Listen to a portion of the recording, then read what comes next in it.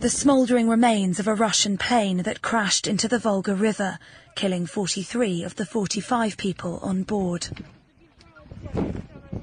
The Yak-42 aircraft was travelling from the northern city of Yaroslavl to Minsk in Belarus when it was seen bursting into flames shortly after takeoff. On board were members of an ice hockey team, the Continental Hockey League.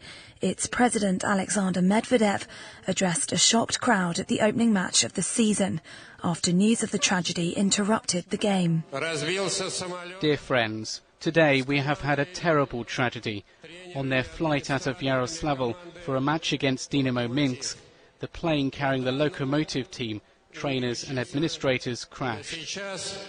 The match was then postponed while a minute's silence was held.